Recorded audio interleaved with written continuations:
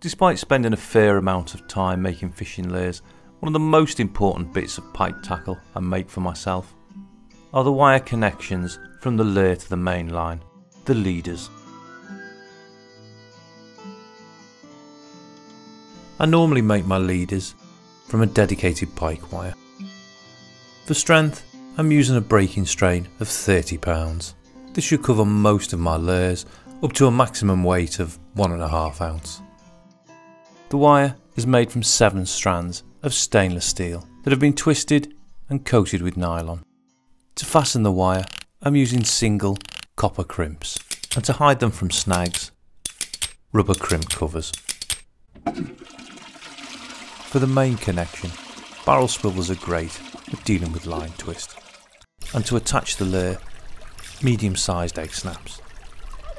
Tools wise, I use sharp snips for cutting the wire and for squeezing the crimps, a pair of cup to half round crimping pliers, and finally a drop of super glue.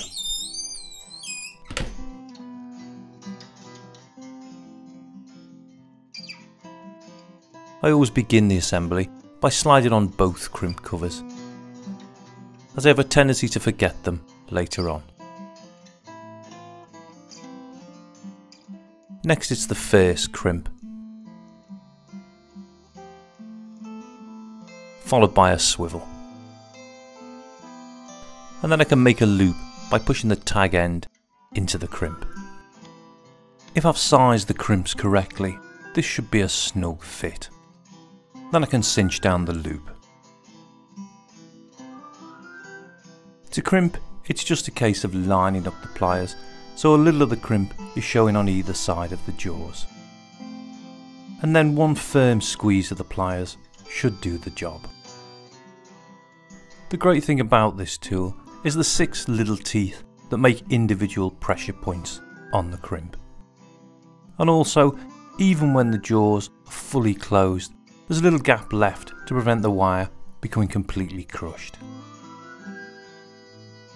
To finish the first end, I'm using a drop of super glue, and then I can pull the cover over the crimp and the first ring on the swivel. Lengthwise, I generally make my leaders somewhere between 14 and 18 inches.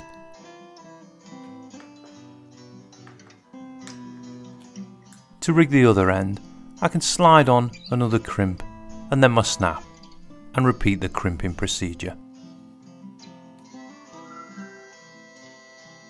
One of the deciding factors when I'm choosing a snap is whether it's large enough to be easily opened by my fat fingers.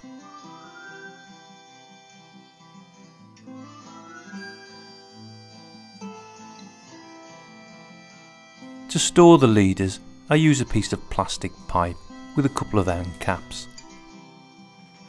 This protects the leaders and stops them getting mangled in my fishing bag. I find even homemade leaders seldom last forever, and when they begin to kink or whir, I tend to save the swivel and the snap if they're in good condition and bin the wire. If you've enjoyed this video, don't forget to like and share or subscribe to be notified of future videos. Thanks for watching.